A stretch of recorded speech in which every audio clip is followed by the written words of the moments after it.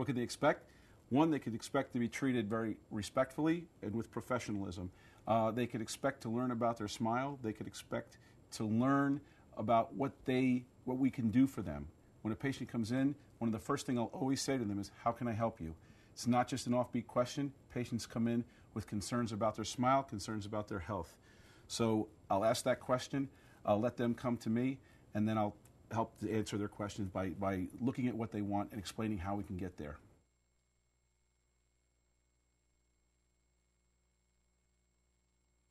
I was always drawn to the sciences and the health fields, and uh, my mother was actually a dental hygienist, so there was probably a little influence there. So my choice to become a dentist was, was really simple for me.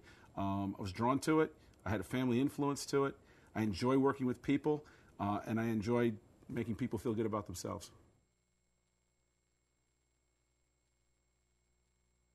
You know, everybody everybody talks about, oh, I go to the dentist again today. Oh, I got to have a root canal. I got to have a filling.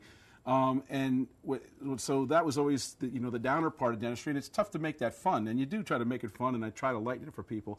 But I got into the cosmetics of it back in the uh, late '80s because it, it, made people say, "I can't wait to go," because they they know how they're going to feel when they leave. And then when they do leave, they're like, "I'm so glad I came." And and and what a difference that is to hear someone say to you, Thank you. I'm so glad I came. You've changed my life. I could stand up in front of a crowd. I don't smile. I never smiled before.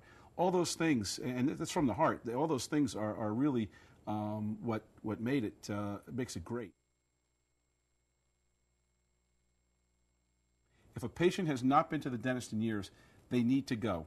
And the reason they need to go is if it's been even five years, the new techniques, the technology that's come into dental offices is amazing what used to be painful or, or what they would perceive as painful, there's no reason for it anymore. The newer anesthetics, the newer delivery systems that we have, the technology blow them away. It's a much different experience. It's a comfortable experience. Um, we can we even bring in anesthesiologists if need to. So so there's no reason to be afraid to come in anymore. Really, it, it's it's a matter of just wanting to get it done. And I, and we have patients like that all the time. Patients come in and they say, "I'm embarrassed to tell you I haven't been in eight or nine years. Don't holler at me." I said, why would I ever holler at you? I'm glad you're here. Let's, let's make this a great experience and let's get you healthy. And, and that's what I would tell a patient who hasn't been in.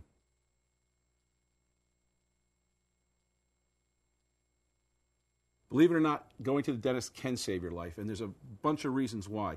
Um, the first one that I'll talk about is the detection of oral cancer. Today, we have uh, devices that will detect oral cancer in its earlier stages. The biggest problem with oral cancer and why it is the, one of the leading causes of death and disfigurement is because oral cancer is always found late. It's always found late. We have a new device that we're able to detect cancer at its minimal stages and we're able to then treat it. I've had patients who, in this office, we've detected cancers on with this device and literally have saved their lives. Um, and, and disfigurement, which is really big. Oral cancer, when it's found early, is curable, like any cancer. Oral cancer found late is disfiguring and in many cases terminal. So that's one reason to come. Another reason we could save your life is, believe it or not, there is a direct correlation between gum disease and coronary artery disease. So if you keep your gums healthy, if you keep your teeth healthy, if you clean your teeth, you, there's a direct relation to how your heart responds when the bacteria in your mouth gets into the blood system and helps cause the plaque buildup in your arteries. So that is another thing. Just coming getting your teeth clean, you can save your own life or prevent yourself from possibly having a heart attack in the future. Another reason to come.